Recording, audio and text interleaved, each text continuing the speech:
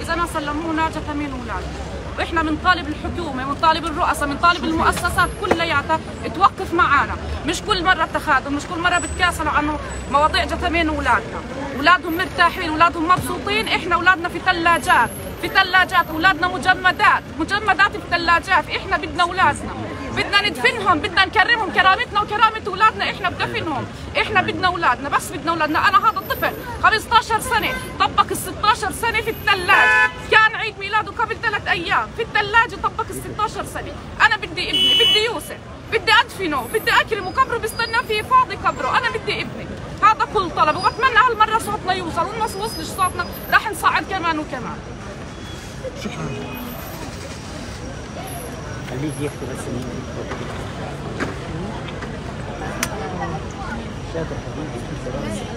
بكفي تخاذل والله بكفي والله بكفي تخاذل حرام عليهم حرام. جبانين. شو بدهم مكفمين أولادنا؟ مش أصلا والصلاة والسلام على أشرف المرسلين.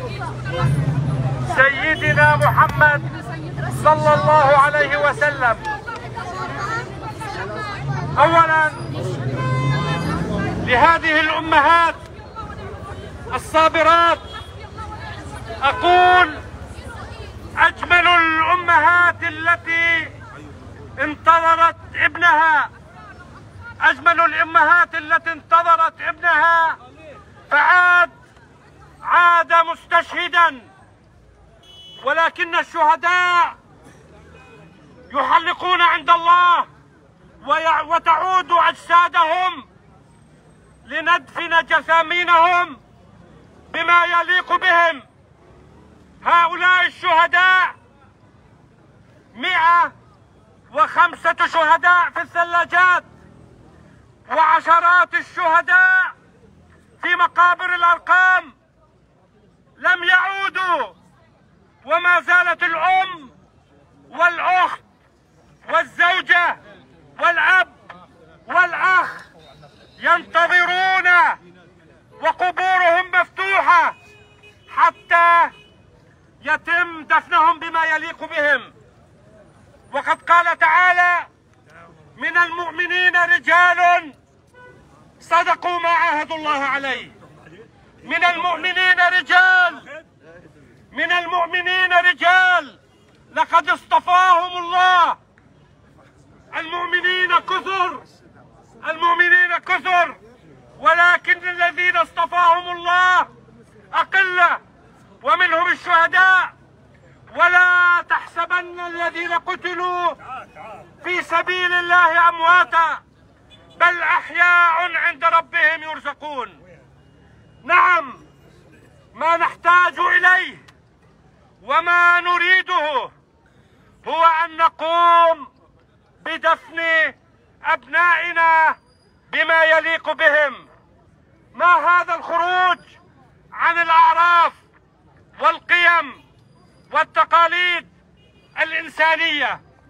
هذا احتلال مجرم. هذا احتلال نازي جديد الذي يقوم باحتجاز هذه الجثامين. وأنا أقول وكل ذوي الشهداء وكل هذا الجمع الفلسطيني من أبناء جنين القسام يقولون لهذا الاحتلال سوف نقوم بدفن أبنائنا وبالقوة سوف نسترد جثامين أبنائنا وبالقوة فالبنادق ثم البنادق ثم البنادق والخطوة الواثقة.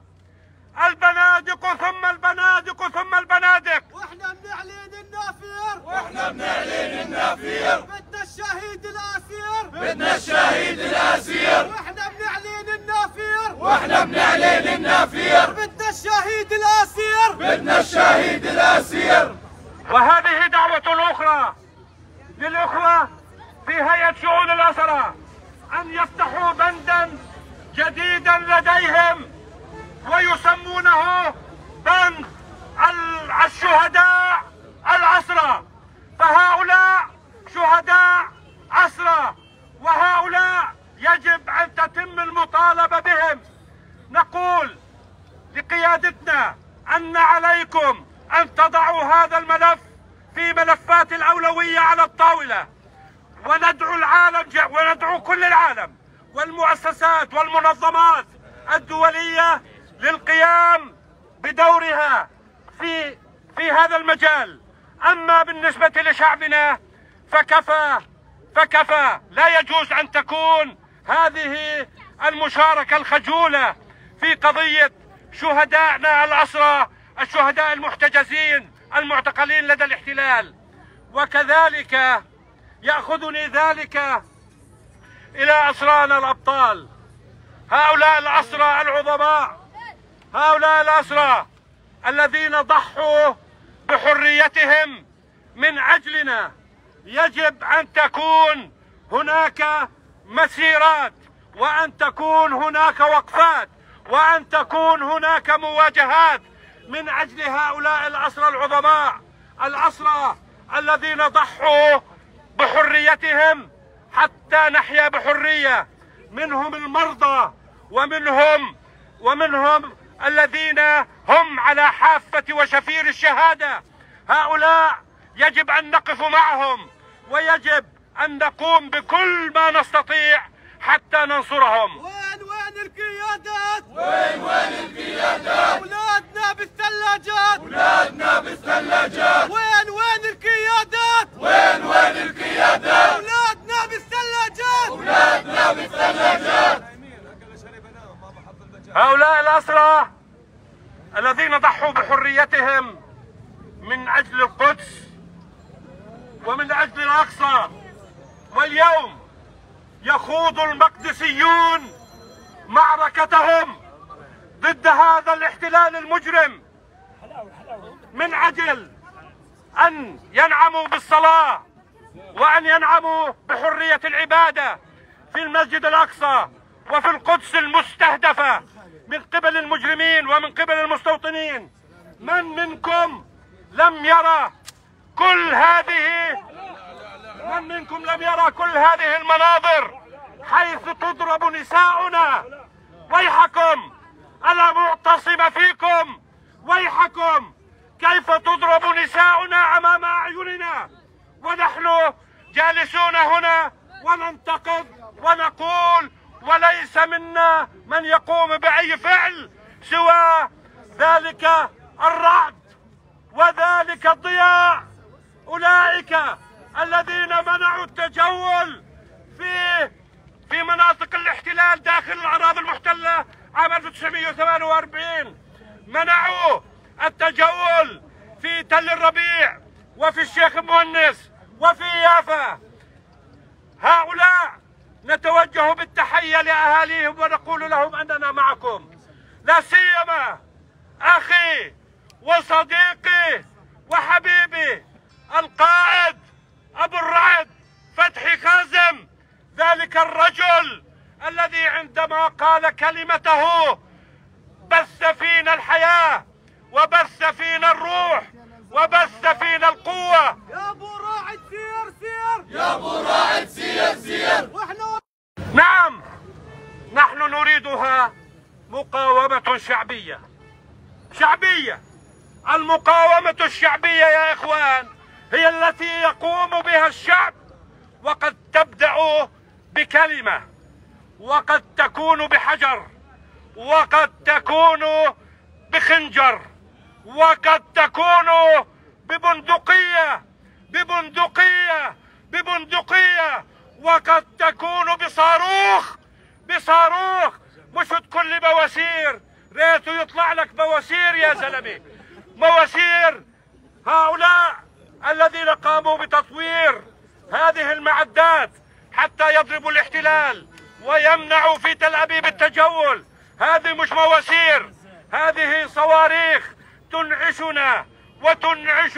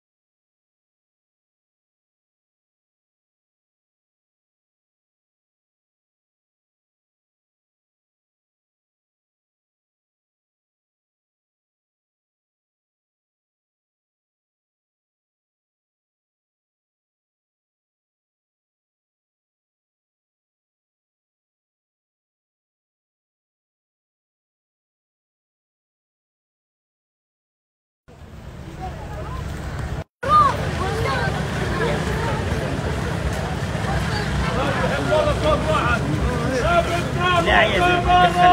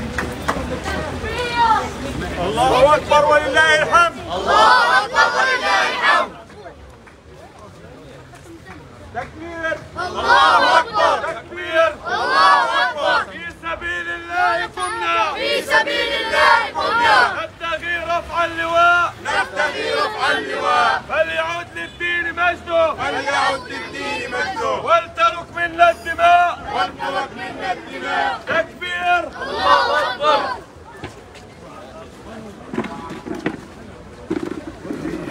إذا بعد انطلاق المسيرة آه، الآن تصل إلى الدوار أو آه، إلى خيمة آه، استرداد جثامين الشهداء في مدينة جنين. هذه المسيرة انطلقت آه، لتؤكد آه، على آه، أن آه، الشهداء آه، هم آه، أحسن منا جميعا وتطالب باسترداد كافة جثامين الشهداء المحتجزة. جثامينهم لدى الاحتلال منذ أشهر وسنوات.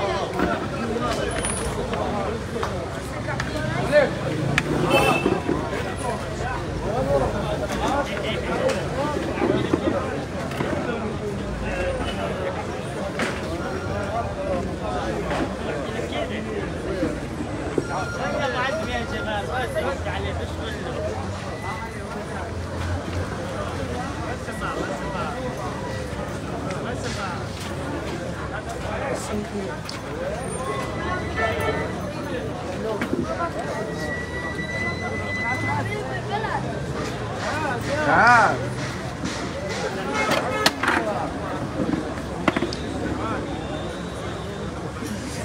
الله الرحمن الرحيم الحمد لله رب العالمين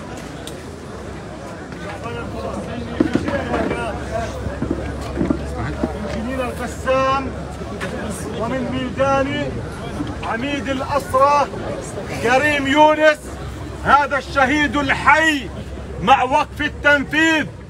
الذي أمضى أربعون عاما في سجون الاحتلال. أهلنا شعبنا في كل مكان. أهالي الشهداء الأبطال الذين هم أكرم منا جميعا. أيها المناضلون أيتها الماجدات أمهات الشهداء آباء الشهداء أخوة الشهداء وأبناء الشهداء. أيها العالم الحر في كل مكان قد لا تعلمون كيف يكون شعور والد أو والدة الشهيد الذي يتشوق إلى أن يقبل فلذة كبده ويودعه ويضعه في مكان يليه. ولكن أيها الأحبة هذا الاحتلال البغيض الذي يمارس كل أشكال العنف والإرهاب ضد شعبنا الفلسطيني العظيم. بالأمس حاول اقتحام المسجد الأقصى واقتحم المسجد الأقصى. من أجل إخراج المرابطين والمجاهدين الذين يدافعون ليس فقط عن الشعب الفلسطيني أو الأمة العربية ولكن عن الشعب الإسلامي والأمة الإسلامية وكل أحرار العالم. عندما سمعنا بالأمس ماجدة من القدس تقول نحن صحيح عزل ولكن لن نركع إلا لله. هذا هو حال الشعب الفلسطيني. اليوم مطلب أهالي الشهداء المخطوفين لدى الاحتلال المجرم الإرهابي اليميني المتطرف. واضح ووحيد. ويجب أن يكون شعار كل من يقول بأنه قائد لهذا الشعب الفلسطيني سواء بالسلطة أو بفصائل العمل الوطني والإسلامي أن لا يكون لنا مطلب إلا بالإفراج عن جثامين الشهداء. وهذا أضعف الإيمان. ورسائل المقاومين في رسائل في كل مكان. ورسائلنا لأبطال غزة أن لا تكون هناك صفقة للأسرى إلا ويكون البند الأول لها الإفراج عن جثامين الشهداء الأبطال.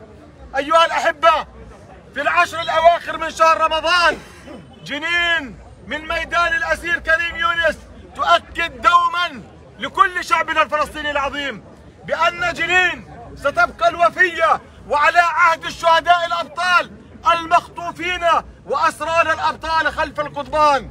هذه رسالة جنين رسالة الوحدة الوطنية ورسالة المقاومة رسالة البندقية ورسالة على فلسطين هذه الرسالة التي عبر عنها كل آباء الشهداء. أبو أمجد عزمي وأبو رعد قبل أيام وأبو ضياء حمارشه وأبو خليل طوالبي وأبو كل الشهداء وعذرا إذا نسينا اسما هنا أو هناك.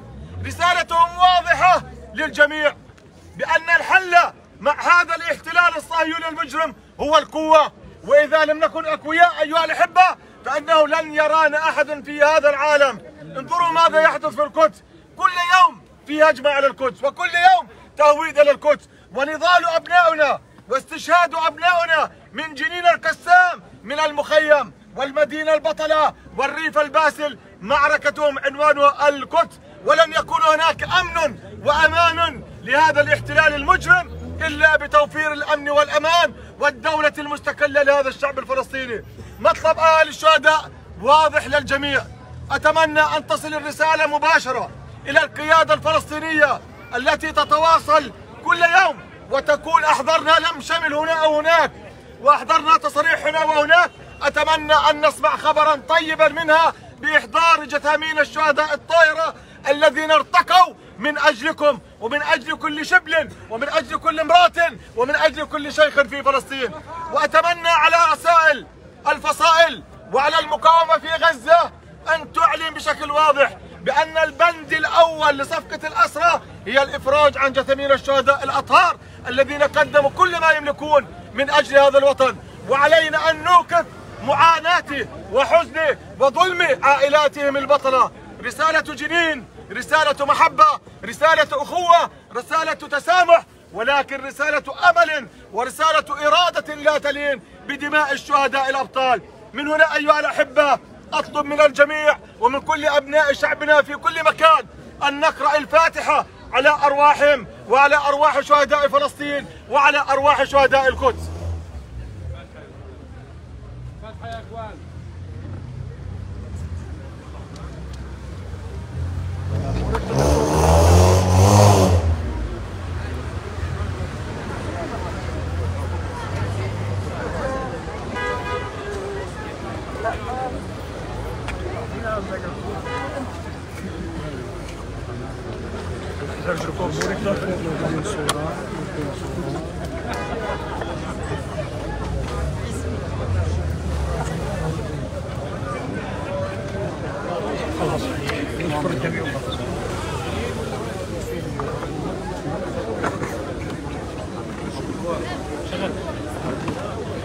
نشكر أهلنا في هذه المدينة الباسلة ومخيمها الصامد وريفها البطل على تلبية ندائنا وإن شاء الله في الأيام القادمة ستكون هناك سيكون هناك برنامج وعدة وقفات. سنبقى بالشارع يعني بهمة أحرار يعني هذا الوطن الحبيب إلى أن نسترد جثمين أبنائنا. شكرا لكم وبارك الله بكم